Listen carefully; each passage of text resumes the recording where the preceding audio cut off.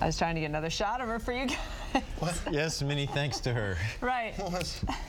we got to see the shoes, by the way, the toe cleavage. Um, this segment, as you guys look at my shoes, um, there we go. See, see what she's saying is you don't want the shoe boot to come up to here because then that gives you a fat ankle look. So you want it to come down there, and you get toe cleavage. Uh, that segment brought to you by Cosmopolitan Magazine and J.C. Penney. she was uh, different. What? Yeah. I, I wasn't sure if we, were, you Michelle? know, the we're talking about a little lingerie, talking about some shoes. It's hard to hard to jump from those things, you know. Girl stuff. She had a whole thing going on there. The was toe cle- interesting. I think the toe cleavage threw everybody off. Yeah, that threw me off a little. Toe cleavage.